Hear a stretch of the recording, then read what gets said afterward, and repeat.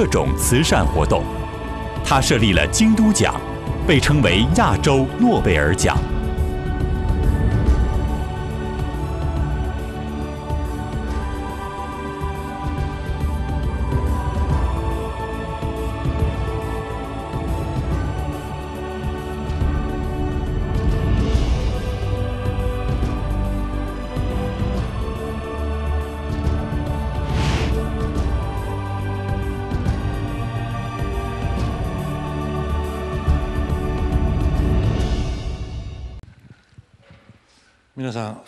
全国大会开了两天，大家累了吧？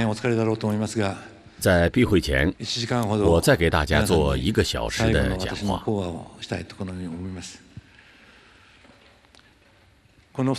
这两天，受表彰的八名书生发表了各自的经营体验，给了大家很多的启示。他们的发言很精彩。足以汇编成册，供大家学习参考。这些发言都很有价值。今天为大家讲些什么呢？我想了很多。近来经济形势非常严峻。特别是原油价格的暴涨，食品以及其他资源的价格上升，不仅日本经济，整个世界经济都不容乐观。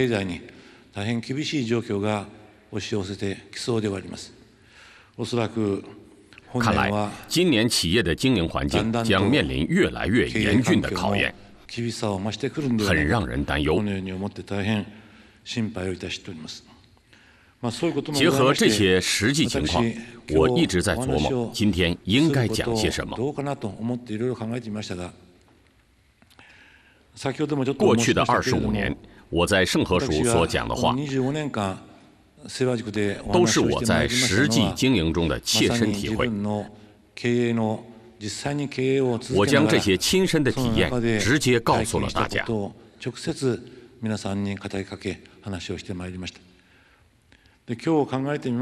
许多话虽然以前讲过，但是考虑当前严峻的经济环境，有些话仍然值得回味。从自己经营企业的直接经验中，我思考的、感悟的东西，遇到这样的问题，必须这样来处理，等等。我曾多次讲过，今天我想就这些内容重新谈谈。自己的观点。接下来就六项精进这个话题，再次给大家谈一谈。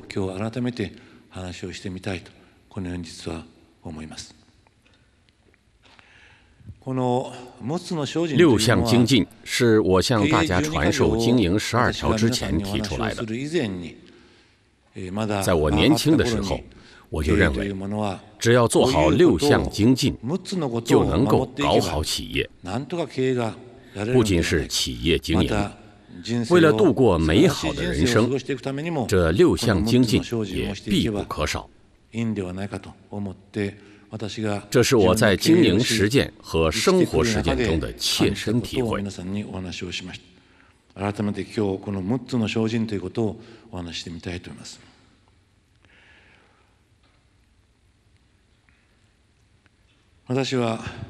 在我看来，六项经济是搞好企业经营所必须的最基本的条件。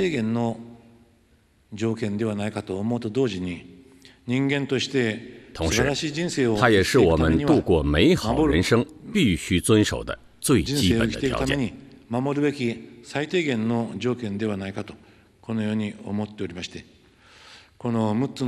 如果我们每天每日，都能持续实践这六项精进，我们的人生必将更加美好。美好的程度将超过我们自己的能力和想象。事实上，我的人生就是这样。如果你想拥有幸福的、美好的、平和的人生，如果你想把你的企业经营的有声有色，如果你想让你公司的员工幸福快乐，那么你就忠实的实践这六项精进吧。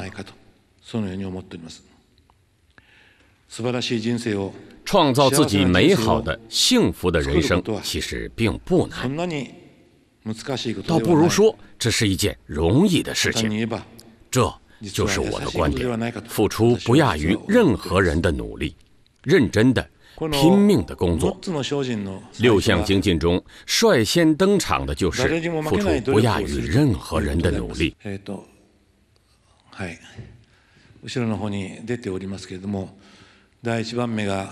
在经营十二条中，我也向大家强调了付出不亚于任何人的努力这一条。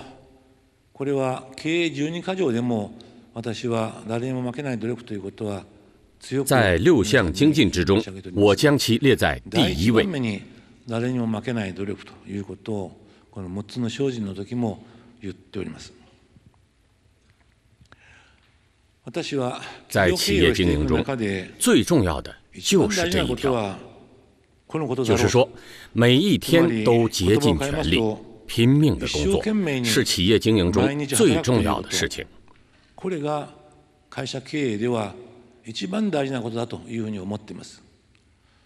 また。同时，如果要让人生幸福美满，那么每一天都认真干活是先决条件。想拥有美好的人生，想成功的经营企业，前提条件就是要付出不亚于任何人的努力。换句话说，就是要勤奋工作。做不到这一点，企业经营的成功、人生的成功都是空中楼阁。不愿勤奋工作，只想轻松舒服，那么企业当然经营不好，美好的人生也无法实现。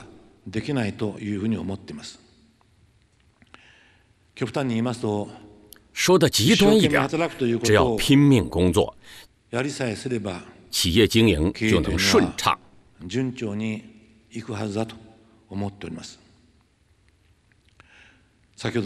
刚才曾提到，今年也许不景气，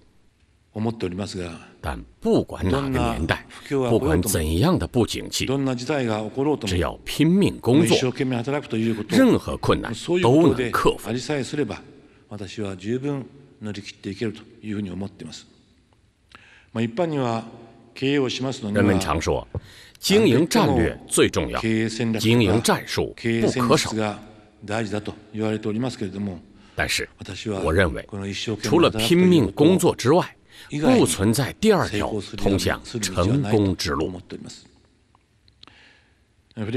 回首往事，在我二十七岁的时候，成立了京瓷公司，我开始经营企业。当时。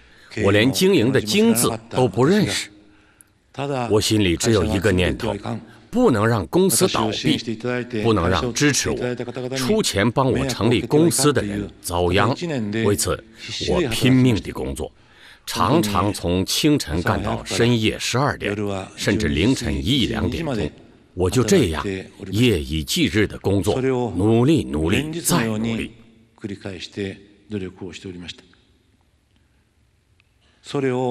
二零零九年是京瓷公司创立五十周年。回想过去，虽然七十岁之后努力程度不如从前了，但是在这五十年里，我一贯勤奋工作，因为这种勤奋，才有了京瓷今天的辉煌。从这点来看，也证明我上述的观点是没有错的。除了拼命工作之外，世界上不存在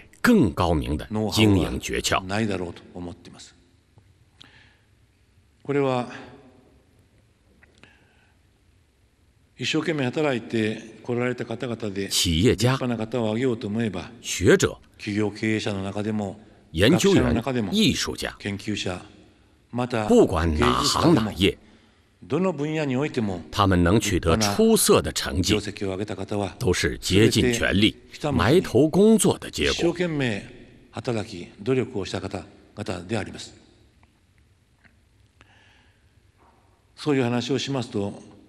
我常常想起我的舅舅和舅妈。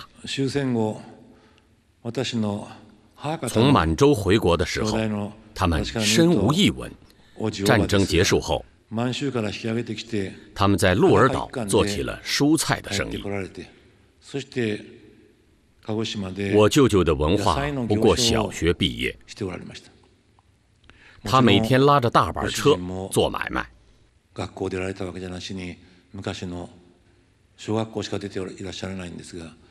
爱说三道四的亲戚们总是以轻蔑的眼光盯着他，说什么那个人既没学问又没脑子，所以只好在大热天里拉着大板车，一身臭汗的去做生意。我舅舅的个子很矮，不管是盛夏还是严冬，他拉着比自己身体大得多的大板车。车上装满了蔬菜。我小时候常常看到舅舅那种做生意的光景。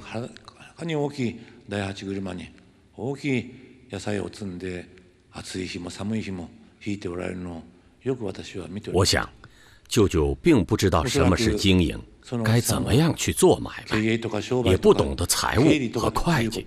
但是，就是凭借着勤奋和辛劳，他的菜铺规模越来越大，直到晚年，他的经营一直很顺利，只是默默地埋头苦干，没有学问，没有能耐。但是，正是这种埋头苦干，给他带来了丰硕的成果。舅舅的形象刻在了我儿时的心中。拼命工作是一切生命都在承担的义务。他白手起家，创建京瓷和 KDDI 两家世界五百强企业。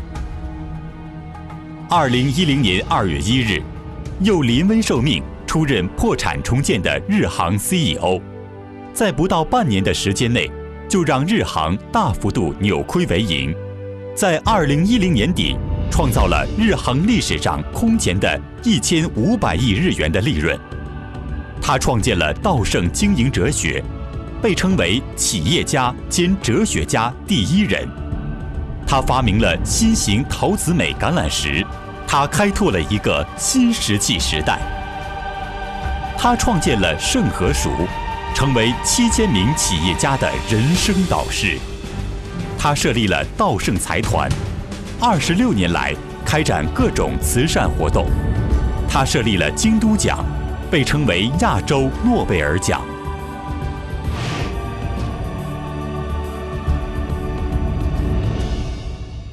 我为什么要强调拼命工作呢？因为自然界存在的前提就是一切生命都拼命求生存。稍微有了点钱。公司刚刚有起色，就想偷懒儿，就想舒服，这种浅薄的想法，也就是我们人类才有。在自然界里，这样的生物绝不存在。自然界中的动植物，它们都在竭尽全力、拼命的求生存。看到这些现象，我想，每天每日。认真的、极其认真的、努力的工作，应该是我们做人最基本的、必要的条件。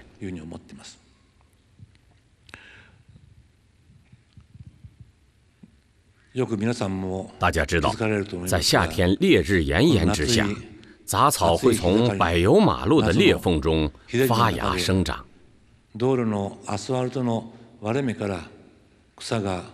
如果一星期，干热不下雨，杂草就会干枯。就是在这样既缺水又缺土的地方，杂草却在发芽生长。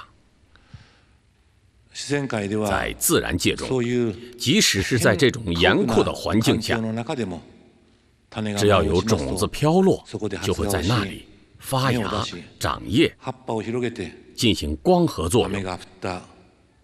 然后开花结果，结束他们短暂的一生。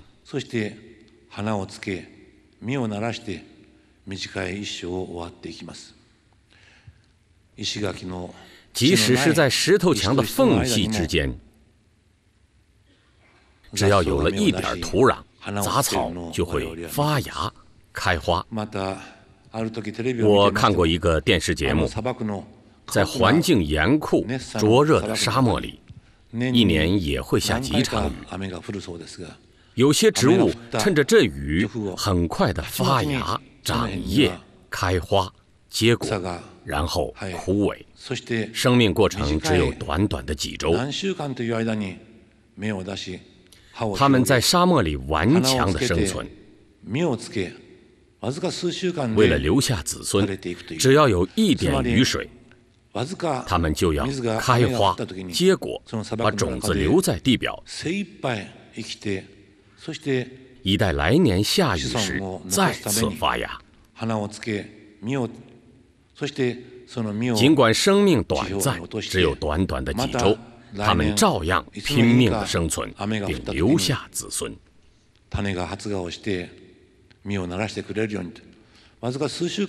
无论是植物还是动物，它们都在严酷的条件下顽强的生存。马虎懒惰、不负责任的动植物并不存在。遵照自然界的规律。我们人类在地球上生存，也必须认认真真、竭尽全力。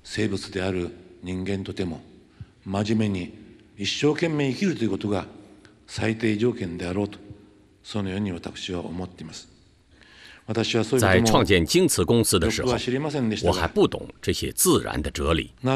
虽然我不懂这些哲理，但我有一种危机感。如果不竭尽全力的工作，不拼命努力的话，公司的经营就不可能顺利。这样的危机感、恐怖心促使我拼命的工作。现在回过头看，这是非常正确的。不管经济如何萧条，不管环境如何严峻，我坚信，做出加倍的努力是经营者乃至每个个人生存的最低条件。我向许多人提问：你是否在竭尽全力的工作？是的，我在努力工作。我对这样的回答不满意。于是我会接着问：你是否付出了不亚于任何人的努力？你的工作方法是否不亚于任何人？你自称是在努力工作，但实际上你的努力还远远不够。如果你不更加认真，不更加努力，那么公司也好，个人的人生也好，都不会有理想的结果。我用“付出不亚于任何人的努力”这句话来表达这一层意思。我认为，竭尽全力，付出不亚于任何人的努力。乃是这个世界上所有生物都要承担的理所当然的义务，没有谁可以逃避这个义务。只要喜欢你的工作，再努力也不觉凄苦。拼命工作是辛苦的事情，辛苦的事情要一天天持续下去，必须有个条件，那就是让自己喜欢上现在所从事的工作。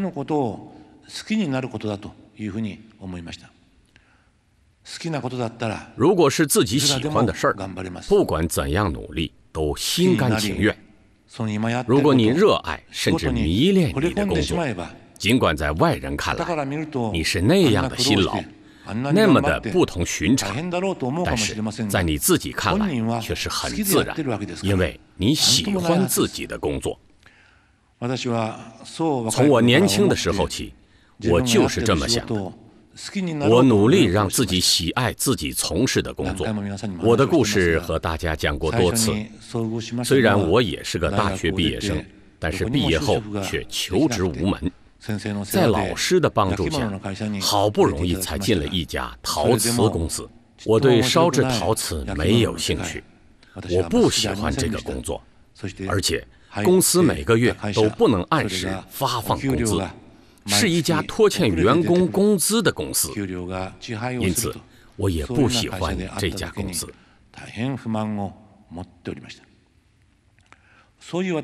但是抱着满腹牢骚从事研究开发工作，工作根本无法顺利进展。因此，我决心让自己喜欢这项工作，因为对于不喜欢的事儿，就不可能全身心投入，研究工作就做不好。那个时候，我刚好情窦初开，我知道了“有缘千里去相会”这句话。在热恋情人的眼里，千里之遥不过是一箭之地。不管多么辛劳，去和心上人相会，千里等同一里，再远也不在话下。这就是有缘千里去相会。凡事都是如此。如果喜爱以致迷恋的话，不管怎样的辛苦，都不再感觉到辛苦。因此，我就努力让自己喜爱自己的工作。喜爱自己的研究，有机会从事自己喜爱的工作，当然很好。但大多数人没有这种幸运，一般的人都是为了生计而从事某项工作。既然如此，就有必要做出努力，让自己喜爱自己所从事的工作。努力了。喜欢上了自己的工作，接下来就好办了。要做到不亚于任何人的努力，就变得很简单了。那样早出晚归，拼命工。